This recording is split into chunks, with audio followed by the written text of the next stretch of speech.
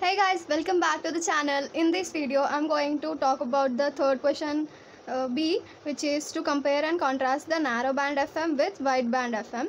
So, narrowband FM means narrowband frequency modulation, and na- wideband FM means wideband frequency modulation. So for comparison, let's divide the paper into two. On the first side, we will write about narrowband FM, and on the second side, we will write about wideband FM. So the first point which we can write about narrowband FM is that the beta will be very very less than 1.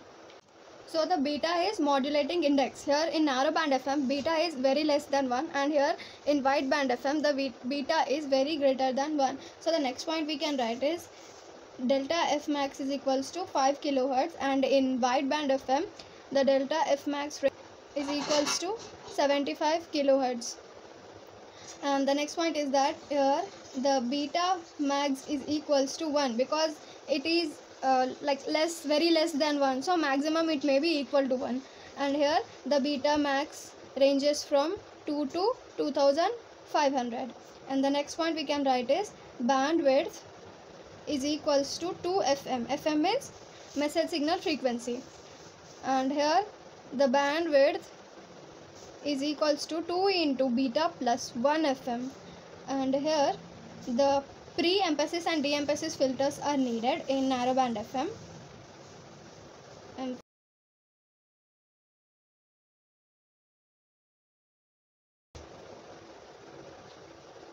and in wideband fm also these both are needed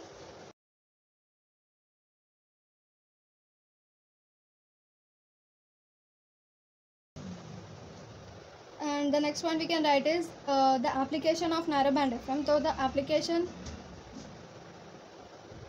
is that uh, police wireless mobile communication army ambulance or taxi cabs and etc and the application for wideband fm are like fm radio or digital broadcasting